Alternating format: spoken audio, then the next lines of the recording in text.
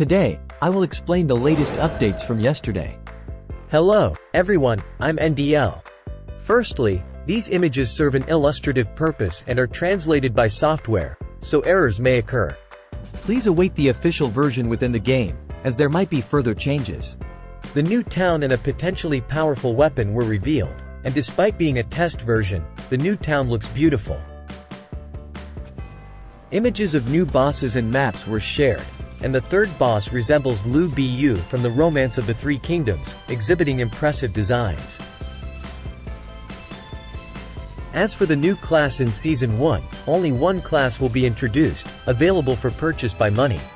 There are four class combinations to choose from, and poison-related classes seem potent in Season 1.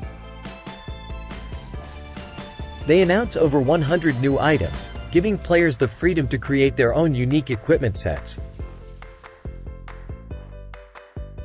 The addition of Heisha, a new mechanism, introduces new in-game currency called Dark Mana, obtained by participating and winning battles, enhancing and upgrading equipment. The game will include new in-game events, and a notable point is the Animancer being sold for 500 gems. A great move for free-to-play enthusiasts. Animancer will be available for everyone to experience, fostering positive feedback. There's also a new feature allowing the reuse of purchased skins from Season 0, providing an option for players who lost access to these skins.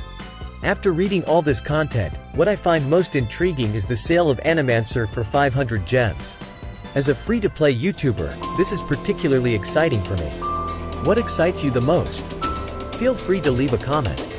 That's it for today's video. Thank you for your enthusiastic support. Goodbye.